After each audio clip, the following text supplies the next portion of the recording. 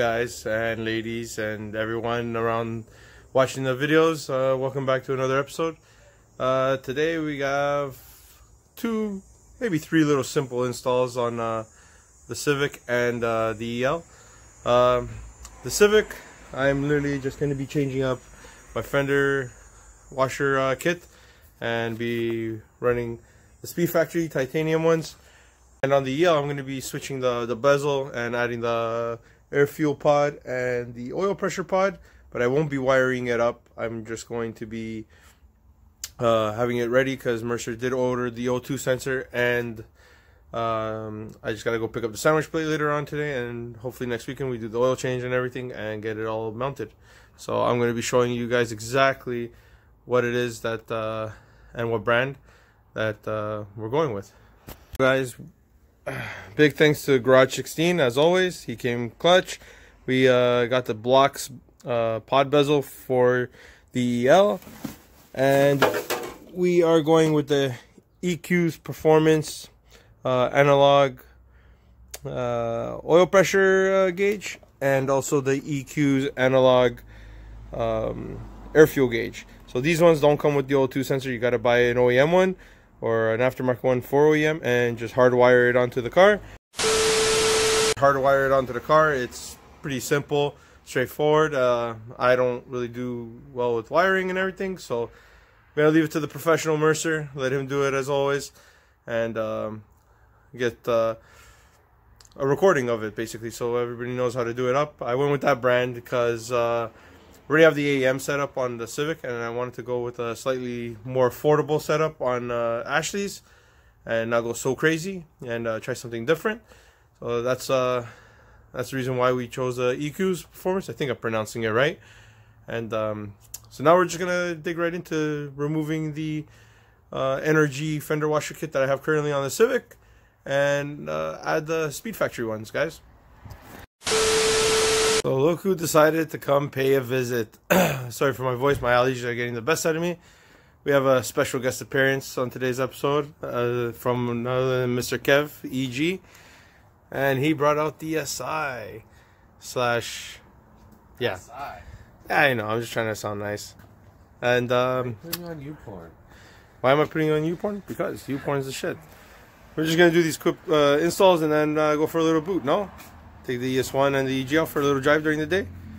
I want to wash my car. It's so nasty.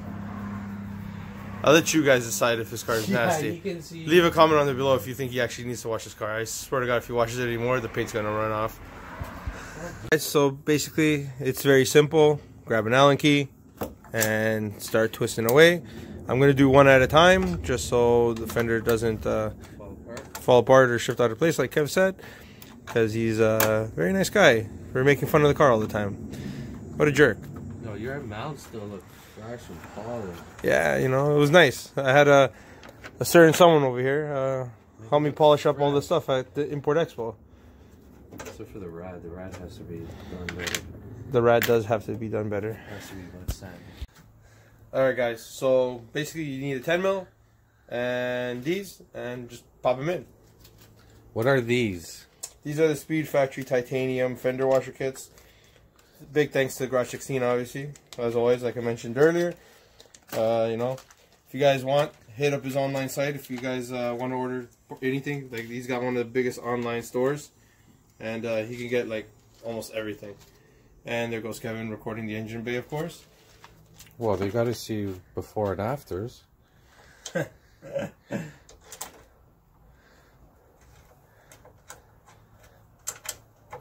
Doesn't fit. Of course it fits. All about finding the right hole.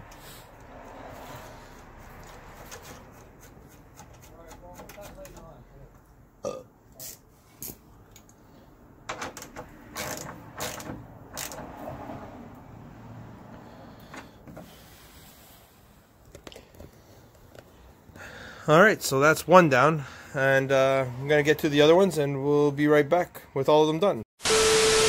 Boys and ladies, and uh, everyone. Uh, I'm just gonna. Tell you the truth. I'm gonna. Yeah, I'm gonna tell you the truth, man. I I fucked up, and something's forever gonna be one with the spooniest one forever now, or unless until it falls off. So I got all the the nuts and washers all done. I didn't lose anything. Uh, I'll show you right now. So, as you can see, all of them are done. Right through. They actually give it a nice little cleaner look than the, the blue NRGs. There's some other blue NRGs hidden in the bay that I should change. I did change did change the ground. That was an NRG, so now it matches the Speedfactory uh, valve cover kit. And I said I wasn't going to do it. Then I decided to do it, so I changed the three. And if you can see right there, this little guy, It looks mint. when I took out the NRG one, I lost an Allen key. It went in.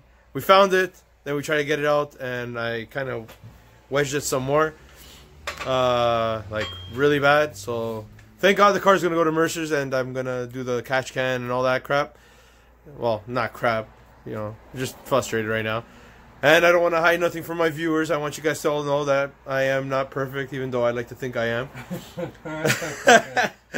so yeah, it's in there. I grabbed I another. I got another idea to do after.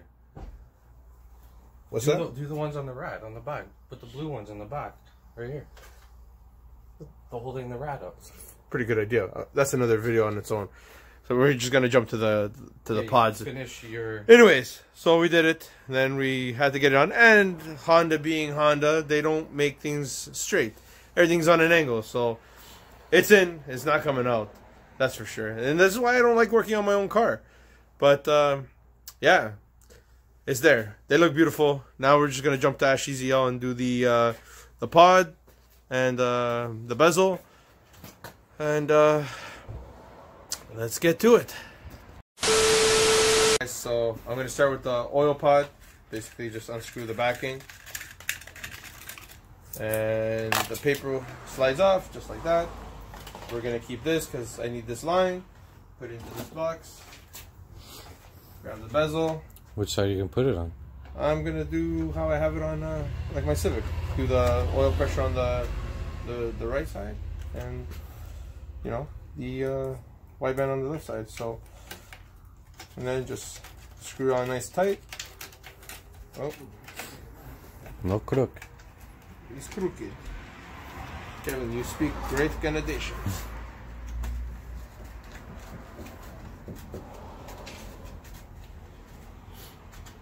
Be recording. The ceiling. Add it to your YouTube video. People want to know this about this nice garage you got here. So that's it for the oil pressure. Okay, let me see. Is it straight? Uh, gentlemen, is it straight? Nothing Paul Fordo ever does That is straight. pretty good.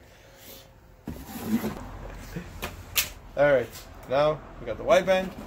That one looks pretty nice. The It's only 59 silver, bucks. the silver goes.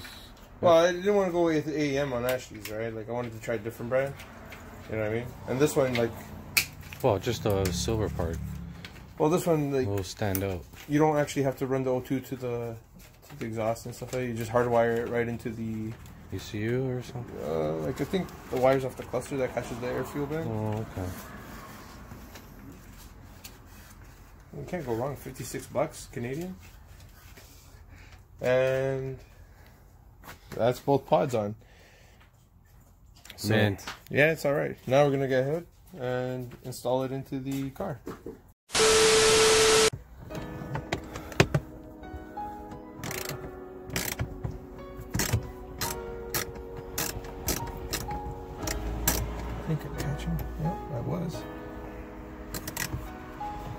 Probably by now.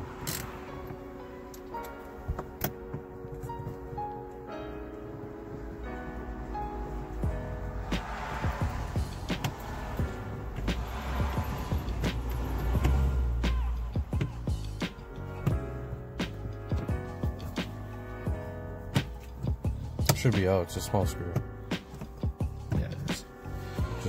Don't drop the screw. Uh, dude, when I used to have the OEM dash on the Civic, I never even had these things back in because Yeah, mine Uh, doesn't have them. I used to have to pull the cluster out all the time because uh, what do you call it? My uh, my old cluster would the RPMs would act all whack, so then I would just like screw it, you know, and just not run it.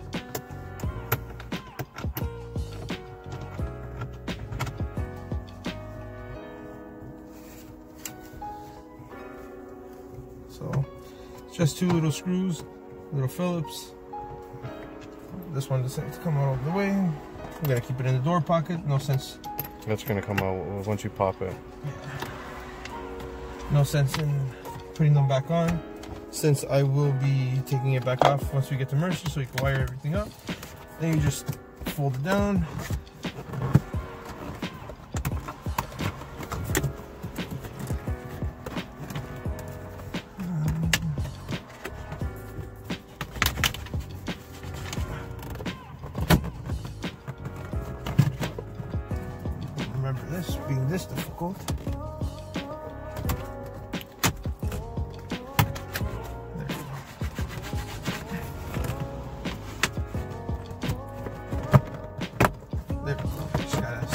Bottom. Now kick out the back. And she's out. Out with the old. Make sure those are tight. And oh man. Well, I guess the pre I should probably vacuum this. But I'll vacuum it at Mercer's. Guess the previous owner wasn't that much cleaner. It's- a hit or miss sometimes when you buy a new vehicle or a used vehicle, sorry, in sense. Bottom first. Bottom first. I'll give you bottom first. And I'll put the screws in. yeah, I'm gonna have to put the screws in.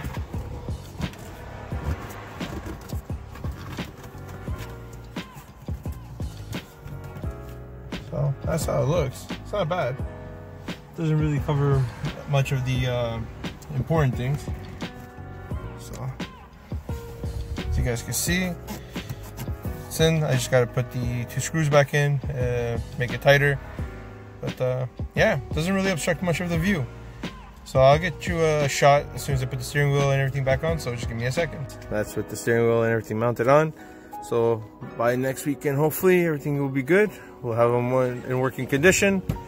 Really like how they look. They they go with everything on the car, and uh, yeah, we'll uh, have them uh, nice and wired up uh, next week. So that's gonna do it for me and Kev today. Uh, that uh, easy uh, install turned out to be a little problematic. It turned out to be a BITCH like Kevin just said. Uh, I can't believe I lost the Allen key in there, but hopefully with the vibrations it might just fall out somewhere on the driveway. Hopefully not on the road so it doesn't uh, mess up anybody else's car, but it's pretty wedged in there. We'll, uh, we'll wait to go to Mercer's uh, when we do the catch can and everything else and uh, get everything else. So, you know, thank you for tuning in. Thank you for all the support. Guys, don't forget to hit the thumbs up. Uh, make sure you guys hit the subscribe, hit the little notification bell, And comment. and don't forget to comment. Uh, don't leave comments like this guy. Anyways, guys, have a safety long weekend and peace.